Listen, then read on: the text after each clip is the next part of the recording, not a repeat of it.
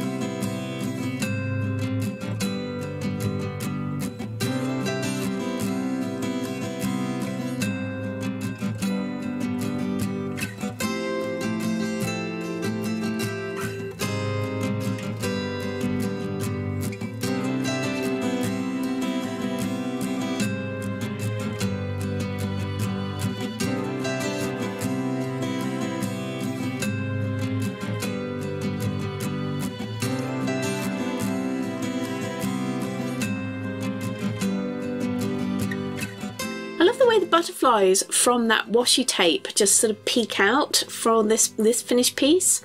So I just happen to have some washi tape with these little butterflies on it, but if you don't, or you don't have other washi tape that you can use instead, you could always add in little pictures cut from a magazine.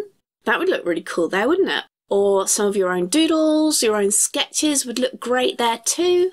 And they were put on quite early on, so you want to make sure that if you are doodling and sketching there, that you do it with a material that's not going to smear as you put more layers over the top. So a paint pen or something like that will be perfect for this.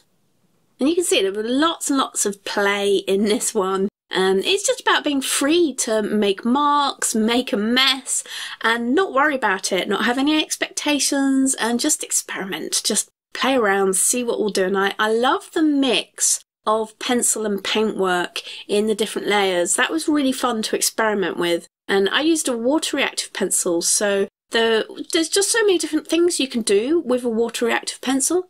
I mean, you can use it dry, you can use it wet, and you can do sort of things from its own sort of mark making or from scraping back the acrylic paint that you've got on there.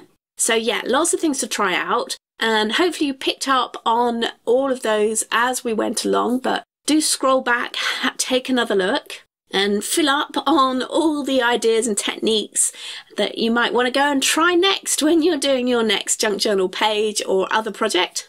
So if you did get some value out of this video, please do like it, comment and share. You know, the usual YouTubey sort of things. And of course, have fun watching some more. Thanks so much for watching this one and I'll see you next time.